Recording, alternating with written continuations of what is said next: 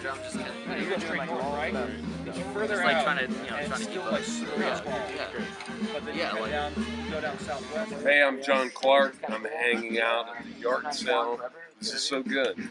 We have friends, people I've known for decades, and we have music, we have visual art, we have sunshine, we have amazing conversations, and this is what it's about.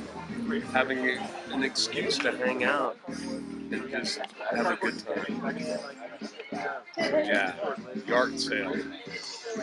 I brought some just stuff, drawings and things, and uh, I thought it might be fun for people to go through like some of my sketchbooks and just flip through. I mean, people, you know, maybe they'll get more familiar and not, you know, be able to see it's just an everyday thing. That art can be an everyday thing. It's not like a big deal. And, you know, some are hits and some are misses.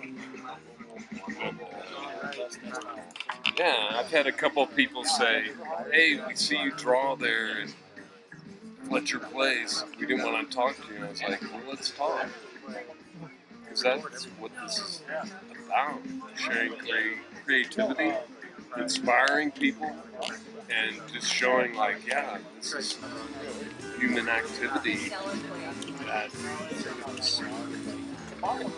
inspiring and.